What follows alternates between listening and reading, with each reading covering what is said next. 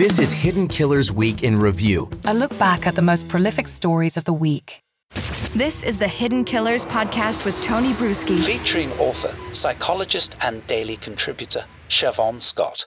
Lori Vallow Daybell making her appearance in court just this last week for a hearing as they get ready for another trial, which may or may not happen later in the year. The judge even acknowledging there may be too much discovery to keep the current date. So they're keeping an eye on that. But what was most shocking about Lori Vallow in court was Lori Vallow in court, her appearance looking like, well, jail is treating you or prison is treating you quite well.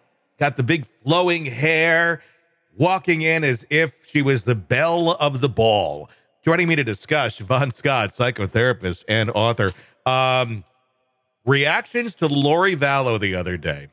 Yeah, that my first thought she got a curling iron and they gave her her cosmetics bag back. I yeah. mean, yeah, this was back in the glamour girl days, not what we saw up in the other trial. Mm-hmm. So, um, her her narcissism is on display and she looked like here i am in front of my audience again um, just that little it's a psychotic glow but she had that glow mm-hmm. i mean mm-hmm. she looks to me she looks clinically crazy, but um, yeah, I mean, she and, looked pretty. And, and with that being said, that you know, it's a psychotic glow to her.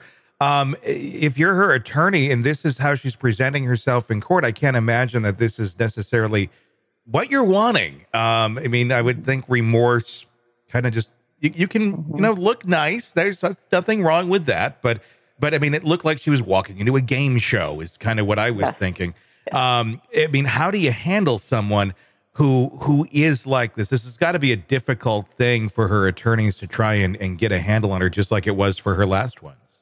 Yeah, and in all likelihood, there's very little control they have over her because mm-hmm. she's mm-hmm. just she's off in in the heavenly realm. You know, she's living yeah. in a different reality.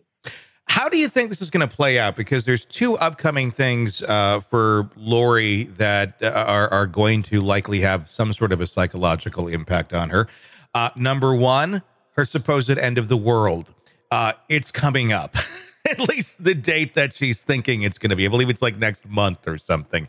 Uh, when that doesn't happen, uh, I'm curious to see how she reacts. And number two, Chad's trial is coming up. We've already seen some inklings that part of the defense that Chad is going to be mounting is saying, uh, Lori made me do it. Lori influenced mm-hmm. me and she mm-hmm. influenced mm-hmm. Alex. And we had no choice in this matter. And this is, we were just, you know, almost brainwashed.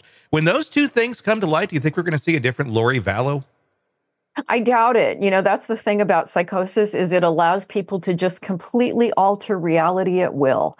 And, you know, when the world doesn't end, it'll be because Angel Moroni changed his mind or had a conference with Jesus and, you know, they came up with a really good plan to delay it for a year or whatever. Mm-hmm. Um, and these end of the world cults, I mean, they go back into the 1800s, you know, where there have been these religious groups that predict a, a certain date. And it uh, obviously has hasn't happened. Mm-hmm. And they just come up with a reason and they just go on about their way and they change the date.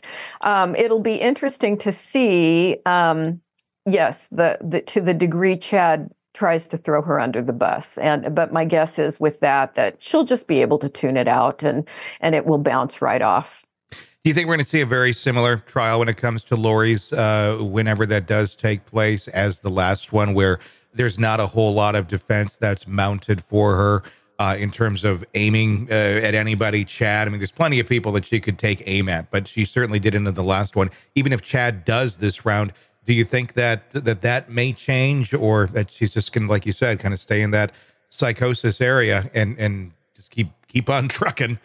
Yeah, I think keep on trucking is likely it. She's she's off in a different world, and she's going to stay there. Want to listen ad free? Want advance access to all of our interviews before anyone else? Become a True Crime Today Premium Plus subscriber on Apple Podcasts. You get every episode commercial free. So you can binge on True Crime until you can binge no more. Search True Crime Today Premium Plus on Apple Podcasts now or go to our podcast page and sign up now. More of the Hidden Killers podcast next.